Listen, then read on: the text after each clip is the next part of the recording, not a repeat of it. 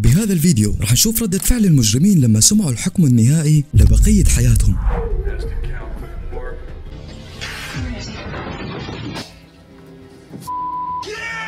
معاكم شلهوب لا تنسى اللايك وتعليق حلو مثلك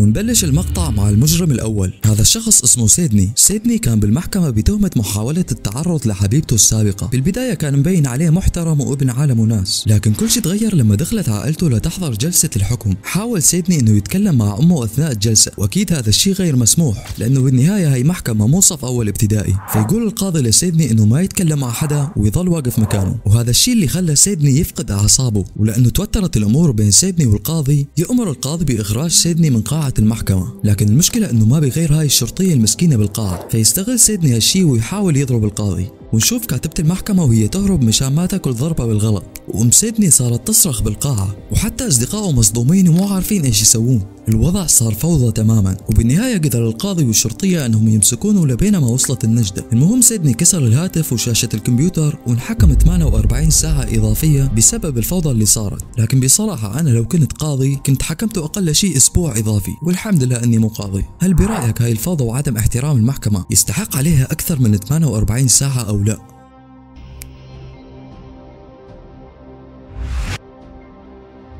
لكن المجرم الأكثر خطورة هو هذا. هذا الشخص اسمه راين. بعام 2015 قرر راين أنه يلعب GTA بالحياة الواقعية وفعلا سوى جريمة سمعت بها المنطقة كلها. راين نزل على الشارع وسرق سيارة والمشكلة أنه بداخل السيارة طفل عمره أربع سنوات. استمرت مطاردة الشرطة لراين لأكثر من ساعة وتم تصوير المطاردة كاملة من خلال طائرة الهليكوبتر. خلال المطاردة وصلت سرعة راين لأكثر من 100 كيلومتر بالساعة وحتى أنه وقف الطريق وسرق أكثر من سيارة وحاول أنه يدعس الشرطي كان واقف بالشارع.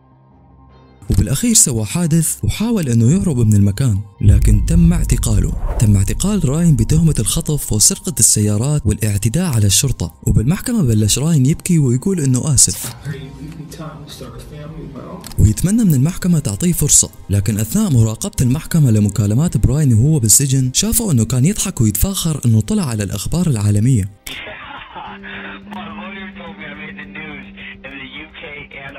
وهذا الشيء خلى المحكمة تضاعف العقوبة وتم الحكم عليه بالسجن 160 سنة. ولما سمع راين سبب الحكم رجع يبكي ويعتذر مرة ثانية. لكن هذا المجرم كانت ردة فعله مختلفة تماما. هذا المجرم اسمه سميث وبأحد الأيام اعتدى سميث مع أصدقائه على شخصين بالشارع وأطلق عليهم النار. مات الأول والثاني صار عنده شلل دائم. وبالمحكمة حضرت والدة الشخص اللي انصاب بالشلل جلسة الحكم. ولما المجرم سمع هالكلام بلش يبكي ويطلب الرحمة من القاضي. لكن القاضي تشارلز ما أبدى أي رحمة إطلاقا وحكم عليه بالسجن المؤبد حتى الموت.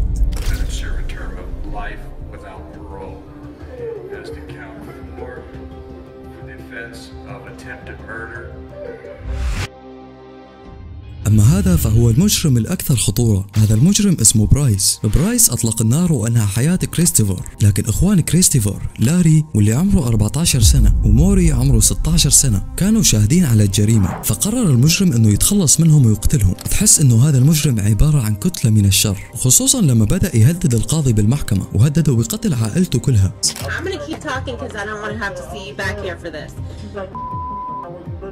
وبالنهاية تم الحكم عليه بالسجن المؤبد ل 300 سنة وهي عبارة عن 100 سنة لكل شخص قتله.